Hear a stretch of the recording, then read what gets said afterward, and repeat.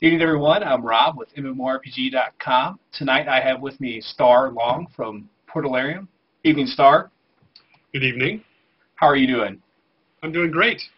I appreciate you taking time out of your day to come answer some questions about Shroud of the Avatar for us. Glad to be here. Right, so recently you just joined the team, I guess, actually within the, within the last two weeks. That's correct. Uh, uh, over the July 6th weekend uh, was when I uh, started working with the team. Was that something you guys had planned beforehand, or was that something just kind of last minute? Rich was like, "Hey, I need your help, Starr. Come, we need you down here in Texas. Come join us."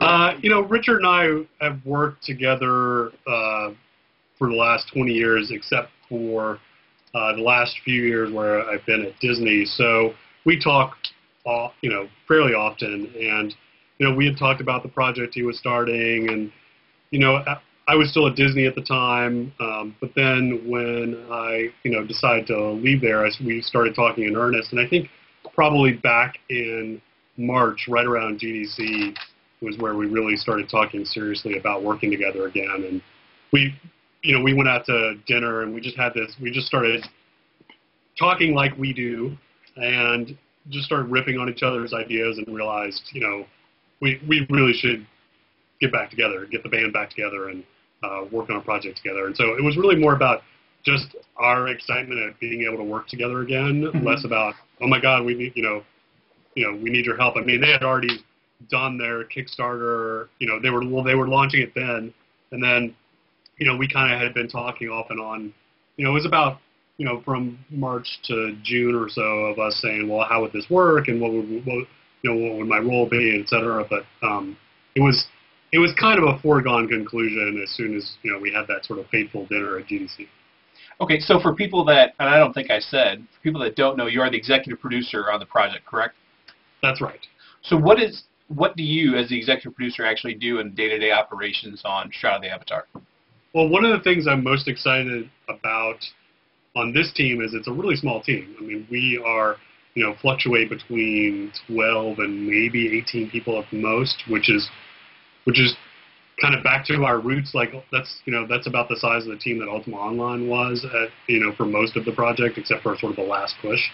And uh, so that means I actually wear a lot of hats. Like I'm very heavily involved in the game design. Mm-hmm. Uh, I'll be managing budgets and schedules, uh, so project management, but also a lot of creative. So a lot of it is, um, you know, design sessions where we go through a system and we say, okay, today we're going to have a session on combat, or today we're going to have a session on abilities, and we just hash through what that system is going to work like.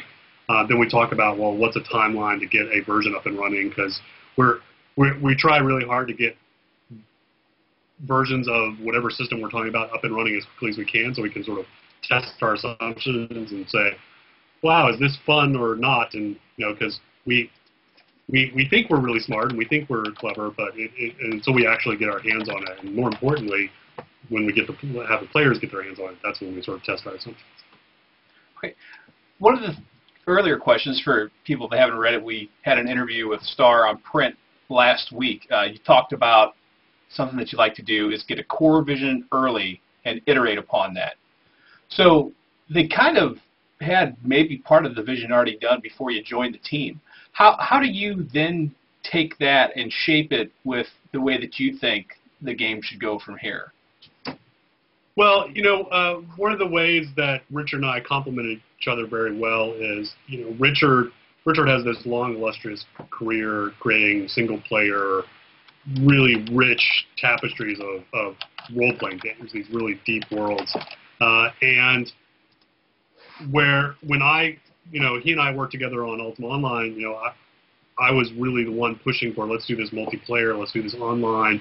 You know, uh, there's the the snarky little quote we we, you know, which I think is mostly apocryphal, but you know, of us going to EA and saying, we think this internet thing is going to be big. and uh, we, so I think where I'm going to be pushing for is how are, how are we building the social system? How is multiplayer going to work? How are how is how is the economy going to work? How are how intertwined is crafting going to be in the experience? Uh, because I, I feel really strongly about the player economy and and and you know um, uh, how how that's inter how we want to make things the players make really matter in the game, and not just oh I'm going to go bash this monster to get the great thing. Well, why couldn't the player make that great item? That was actually my next question. Uh, I wanted to talk about the crafting system because it's that we're, I'm playing the video side by side with us, and that's actually where they're at. The guy's making a, I think he's making some dowels so he can put together Yeah. a, a chair. So we saw that you know he can make himself a pretty nice chair, and if he Very wants to, chair making. I know, and if he wants to build a bar, he's right in there. But uh, other than making furniture, what what do you expect that we're going to see the players be able to craft, and how is that going to actually impact you know the game? Well, I really believe strongly that players should be able to make as good, and if not better, weapons and armor than you can find off killing monsters or bosses. Hey, And- somebody made that armor or weapons that dropped off the boss, right? Yeah, and so what we're trying to do is like the game mostly, for with a few exceptions, like there's some there's some plot el- plot characters who will drop specific items and things like that, but for the most part, the game will what we're trying to design is the game will only generate sort of generic items like a sword and a piece of armor, and all of the like truly unique things and the, the things with magical properties will be player crafted, and, and when players I mean, the most direct route for players to get access to those items that other players make is to trade them with each other or buy them off each other's vendors in their in their shops. But but in addition, if you what, we're, what we want to do is if you sell one of the items you made, and every item is going to have your maker's mark on it, so people will be able to see, oh, Starr made this sword. That will then go into the pool of items that in in what you know on the back end we call our loot tables, which are the the sort of spreadsheets that say, oh, if you kill this thing, that's what this thing will drop. We'll put those items in the inventories of the characters and the creatures that you're fighting. So when you kill that lich, well, the axe that you find on the lich, there's a really good chance that that was made by a player. It's, it's actually pretty interesting. I think that'll be a first. Yeah, we, we, we, we, we think that we think it'll be it could be interesting. I mean, again, this is one of those assumptions that we want to get up and running quickly. We want to test, so we we it sounds really clever, uh, and we'll see how it plays out.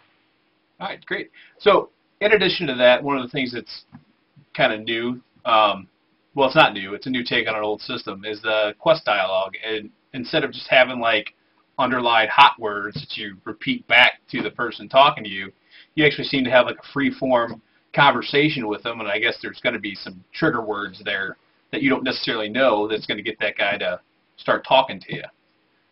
Yeah, we wanted the conversation system to feel like you were talking to a, a person and not and not just moving through what's obviously very a, a, a tree of dialogue. And so the and what we hope to have is we hope to have that each character that you talk to has a large enough set of things that they can talk about that you can really kind of go up to them and start chatting and depending on the way the conversation goes determines how they lead you to the plot or adventure element. And so, and, and we hope that you can get there in a variety of ways. So in the demo we showed, the way you got to find out about this dungeon was actually talking about chairs with the bartender, who then mentions, "Oh, there's this, there's I've heard about this crazy chair, this throne of bone in the dungeon," and so th- th- that was an example that we wanted to show, you know, about as part of the exciting chair making, uh, about how you can have these conversations with these characters, and they can be about seemingly unrelated things that will then lead you to a plot element. And and again, that's how it would happen in reality. You wouldn't be picking from a menu of items in front of a person. So I under- totally yeah. understand. Now, I got another question that goes on with that. Is there any sort of things that in the single player portion, I guess, well, not really the single portion, but the main story quest, that things would happen dynamically and that, you know, maybe I talk to the bartender one day and he doesn't say anything, but then the next day, say a band of like orcs are wandering past the town, he's like, hey, you know, we're low on beer today or mead because these orcs are outside and they're causing us problems and we can't get caravans through. Yeah, the conversations will be attached to our system of flags. So depending on what the game state is, uh, the the characters will react to that and, and update their dialogue. Okay, but that dungeon in particular that we did see is that kind of like a it may have just been a stage for the video, but if not, is that like a static event that we're always gonna eventually be able to walk up to the guy and say, "Hey, I got some chairs." You go, "Oh, got this chair in this crazy dungeon over here."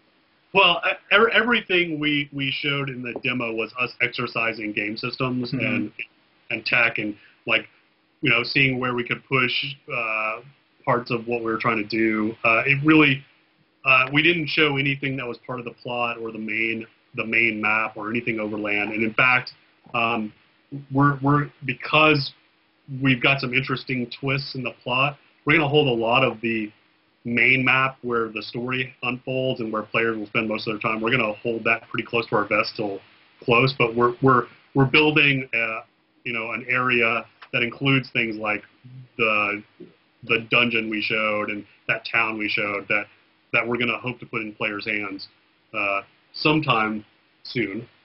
And uh, that, so so that that dungeon was an example dungeon, not necessarily one that would appear in the final. Understood one of the things that you guys also highlighted not too long after that during the combat was the fact that you have a very minimalist UI uh, mm-hmm. to increase the immersion. Is there going to be anything else that we see? You know, is it going to be you're you're having to learn all your commands because you're not going to see notifications from on screen? How how is that going to work and play into you know combat and different things like that?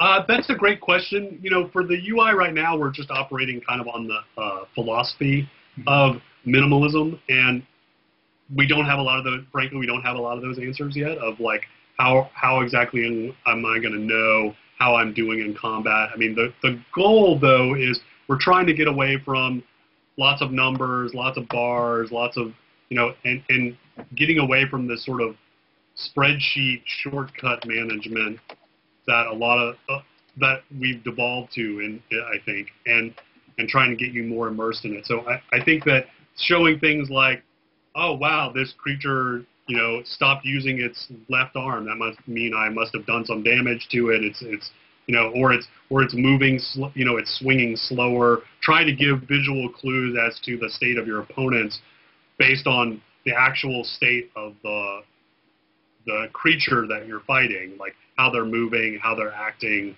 um, the, their weapon choices, things like that. Well, a lot of MMOs nowadays you're playing the UI and not the game.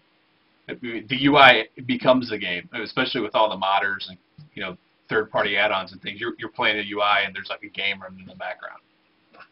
Yeah, it, it it's become you know shortcut bar management, uh, and I think that's a great Kickstarter idea. Someone should just make a game that's just about you know shortcut bars. you don't need any pictures. No, you're right. It, it would it would be pretty cheap because you'd save all the money on all the art, and Lord knows that's where a lot of the money goes these days.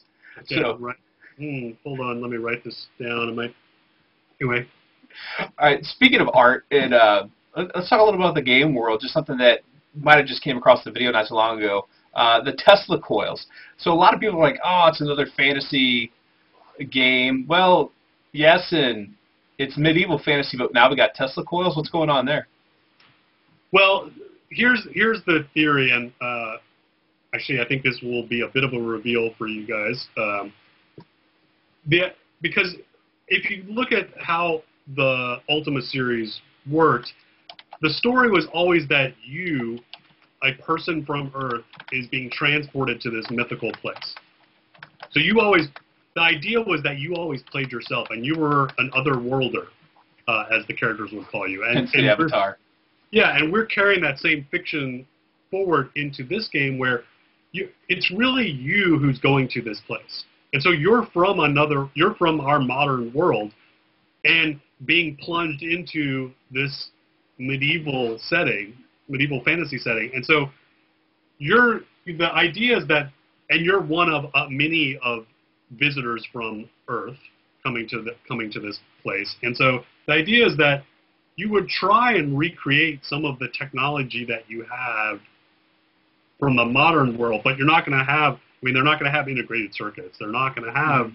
you know, electricity as we know it. So that it that's our that's our so it's not necessarily steampunk per se because it's more about this idea that well if people from a modern era got tra- traveled through time into a that they would try and recreate some of the technology all right awesome that actually kind of teed right into the next thing I was going to talk to you. I asked about crafting earlier, but we didn't really talk about the economy. Now I wanted to try and get into the economy, but at the same time, hopefully address the fact that the game is able to be played in the single player mode, and then there's like the multiplayer mode. How do you stop people doing things in the single player mode that could affect the multiplayer mode, especially that could have a negative impact on the economy when you want players to be creating a lot of different items? That's a great question um, that is going to take a lot of hard work to solve. that's the that's the sort of uh, um, cagey answer that I'll give. We we we talk a lot about that. Um, that is it's one of our largest challenges, but we really want to be able to achieve it. And so, a lot of any player to so while you can play the single player mode, any transactions between players have to be validated through our servers. So we hope to catch a lot of those things that would disrupt because of that. So that's that's one of the ways we will hopefully handle it. All right. Um, what? If, I'm sorry. Sorry, I lost my train of thought there. Something in the chat room distracted me. Um, as far as people creating their own items. What do you want to do to help enable them to have this in-game economy? And let's just kind of ignore the single-player aspect for a minute so we don't get stuck in the mud about how we're going to keep people from pulling things out of the single-player game into the multiplayer game. What do you, we talked about, actually we haven't in this interview, in the past I talked to Richard about there's going to be different prime real estate and you know different places you want to set up your shops. Uh, how is that evolution going in the game right now and you know what different things have you seen in the economy, or what different uh, things you plan to help you know nurture and get that economy going? Uh, again, another great question. We so as Richard's mentioned before, you know, we we really felt like the way we did housing in Ultima Online, while it had a lot of challenges associated, was also really compelling. This idea that your your real estate was in the shared space. It wasn't instant out. It was, and there was a finite amount of it, just like in the real world. And so that, and that's how we're going to be handling real estate in the game as well. Is that there's a, a in each episode that we launch, there will be a finite amount of real estate, and so we do imagine there'll be a bit of a land rush. Um, you know, that's one of the benefits of being an early backer is that you know we're we're you you you'll get access before uh, others, and so, but and players will be able to share houses. So even though there's a finite amount, like if you know you and your friend can operate a shop together, and so we we you know so we think being able to own your own space that's in the contiguous wor- world, so everyone sees your shop on the street, uh, versus having to go to an instance. We think that's going to drive a lot of you know um, what what we sometimes call collisions. Uh, collisions are where people will you know, either intersect with each other or intersect with things that you've made, like like like I was describing earlier with the crafted items, or intersect with your shop that they would pass on the street while they were going to do something else. And so we think that'll facilitate that. The the way the the importance of crafting and the fact that players will make the best stuff in the game. We think that's going to be a huge thing. And and one thing that's important to note about the single player and multiplayer. Um, they're the same world. It's just whether you choose to see other people and interact with them or not. So, you know, I, I think that's a, I mean, I think, I know that's a subtle difference in how you describe it, but it, it, it's not that there's literally another single player world. There's one world that you can play through without, if you so choose, without seeing anyone else, or you can play in that same world and see other people. But it's all the same world. Okay, thanks for that clarification. Uh, just got off your webpage before we started the interview, and you guys are sitting at a total of 2.34 million in crowdfunding now. Congratulations on that number, by the way. Thank But what it also means is you're rapidly approaching the stretch goal of 2.5 million. Yep. How are you looking forward to, or I should say, how excited are you to looking forward to uh, working with the Oculus Rift and making the game compatible for that? Uh, we were actually there. It's fun. There was just a thread about that. So uh, I got to play with one for the first time at GDC, and uh, I, I'm super excited about it. You know, we uh, I was actually in QA, and I'm I don't remember the brand name of it, but uh, Harvey Smith and I were in QA together back at uh, when we first started our career. So Harvey Harvey just did Dishonored last you know year, and uh, you know our good friends, and he really is a big believer in VR. And I remember that he pushed for us to do an update uh, um, uh, to System Shock uh, to to support one of the early, very early VR headsets. And so, ever since then, we've been, you know, you know, all of us, me and Richard and Harvey, have been interested in where where we can go with that. And so, Oculus is, you know, one of the best implementations I've seen so far. And so we're we're pretty excited by it. I mean, it's still, you know, it's not yet where we idealize where we want VR to go, but it's really it's getting there. And What- and What did you play? uh, I played Hawken. Oh, that'd be a good one to play. But yeah, it was it was awesome. I was like a flying mech in the city was yeah, a pretty cool example of how E- to use the tech. Eve VR. If you get a chance to sit down with those the guys from CCP, it's, Yeah. it's they did an amazing job. Mind blown at E3. But back on to Shroud of the Avatar, though. Um, so you're the executive producer and essentially the project manager. Uh, one of the stretch goals that you guys did obtain and hit was that Tracy Hickman is supposed to be writing a prequel of sorts to set up the backstory for Shroud of the Avatar. When can we expect that? Uh, well, that's a great question, and I don't have an answer for it. We, um, I know there is a ton of material that he's generated already. Uh, you know, it's it, it's really it's really awesome working with Tracy. You know, we we'll get to a point where we're like, hey, we you know we need to build this town or we need to build this creature or things like that, and and we'll say, hey, Tracy, have you thought about that thing yet? And then we'll just get inundated with this pile of material, which is which is one of the reasons why Richard and Tracy work so well together because they both are firm believers in building this large amount of lore surrounding the experience you're creating, whether that experience happens to be a book or a game, and and because players and, and readers in the case of books only experience this sort of very narrow slice of the world, you know, in a novel or in a game. But there's a much larger world, and, and Tolkien kind of was the the pioneer of this idea where like he had just all these maps and notes and a language and all these things that you you know the Lord of the Rings you only see this very thin slice of that much larger world and Tracy and Richard do the same kind of thing. So um, I'm not sure when the novel's going to come out. Uh, it's it'll definitely come where the goal is for it to coincide with the release of the game so uh, or before right before the release of the game so it'll be sometime next year. All right. Uh, you know, you've been at this game for like not this game in particular, but the the video game making game for over two decades now. And we all say that we learn from our successes, but personally, I think that we kind of can learn from our failures more, and you know what to do better next time. That being said, what's something that you may have not have done in the past as well as you would have hoped to, that you're going to try and do better with on Shroud of the Avatar? Wow, that's a really, really, uh, really probing question. Um, and I agree. Actually, I think I think learning from failure is as much, if not more important, than learning from success. And that I think some of the best leaders that I've ever worked with are the ones that one can acknowledge failure and and and and but not just acknowledge it, like like work through what are we going to learn from that. And I, I think I mean, there's some really obvious ones for me, which is, you know, don't ship too early.